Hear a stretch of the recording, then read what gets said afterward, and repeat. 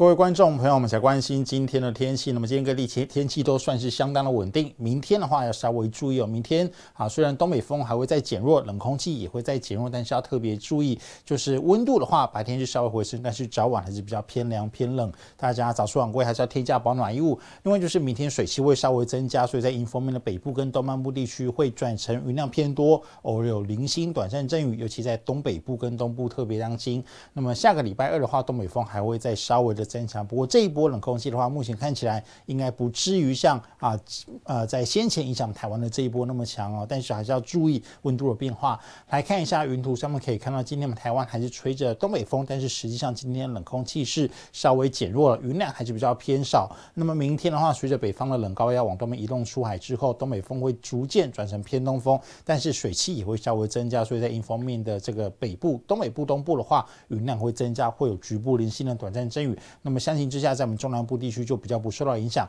下礼拜二、礼拜三还会再有一波东北风的增强。那么到啊这个下礼拜三开始之后，水汽啊会有比较明显的这个减少。所以提醒大家，在未来几天的话，稍微注意哦，北部跟东部如果有规划一些外出行程的话，要注意一下天气的变化，降雨几率也会稍微的提高一些。来看一下，在这个降雨的区域部分呢，最主要就是礼拜六我们今天是稳定的。礼拜天的话呢，最主要是水汽稍微增加，所以迎风面的尤其是东东北部。跟东部的话，会比较容易下雨，有些局部零星的短暂阵雨。那么在这个未来四天的降雨区域图上面，可以更明显的看到，最主要下雨的地区就是我们东北部跟东部。那么水汽比较明显增加的时间呢，可以看到。礼拜一、礼拜二到礼拜三是水汽最多的，甚至要留意局部地区可能雨势会比较明显，尤其我们东北部、宜兰花莲附近或者基隆北海岸呢，稍微的注意一下哦。来看一下，在这个温度趋势的部分的话，北部未来几天温度会逐渐的回升，但是早晚还是比较偏偏凉偏冷一些。那么白天高温大概从礼拜天开始会回升，大概十七啊，这个清晨低温是十七到十八度，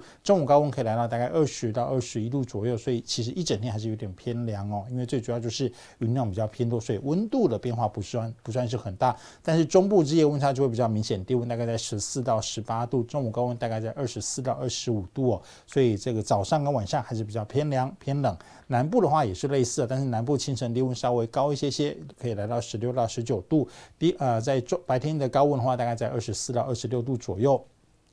那么看一下今天晚上各地的天气，北部跟东北部东部的话，云量可能就会稍微增加了，会有一些局部的短暂阵雨，尤其是东北部降雨几率会比较偏高，要稍微注意。那么在明天白天的话，也是类似的情况，北部、东北部东部降雨几率都比较偏高。桃竹苗以南还是可以看到阳光，但是明天还要稍微注意的是，我们中南部的空气品质有机会来到哦这个橘色的灯号，对敏感族群不健康哦，所以有一些外出行程啊比较敏感的，这个呼吸习惯比较敏感的人，可能稍微的注意一下。以上就是今。今天的天气我们下次再见。